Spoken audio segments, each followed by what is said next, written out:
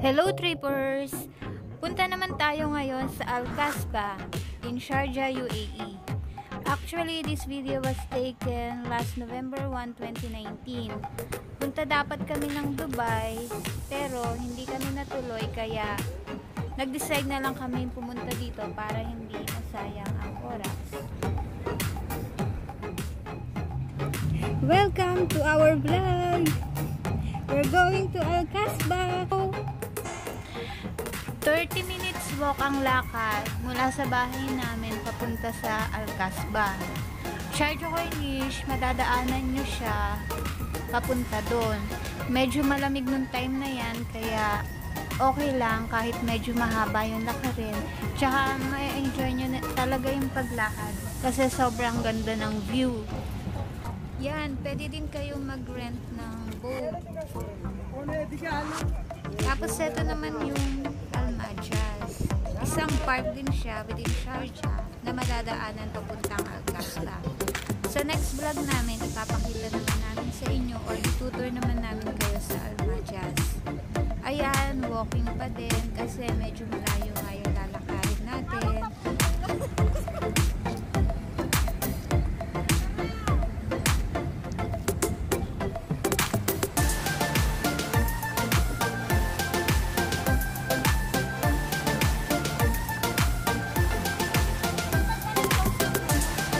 Uh.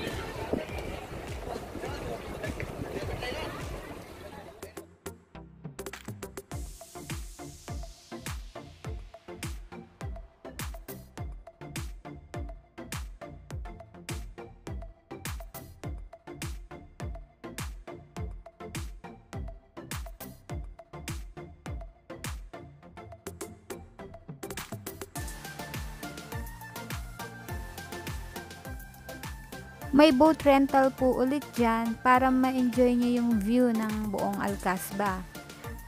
After po ng mahabang lakad, syempre, kailangan po nating magmerienda ng konti. And nag-decide po kaming kumain sa Dunkin Donuts kasi gumamit lang kami ng coupon dyan. So, medyo nakatipid tayo, trippers, pero enjoy naman ang meal.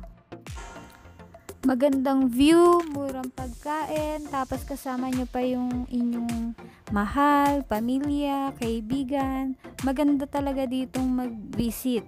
Lalo na dito sa Alcasba, wala namang entrance fee. So, kung gala ang hanap nyo, okay na okay dito. And mas okay din kung medyo malamig na panahon kayo pupunta dito para mas lalong masarap ang gala.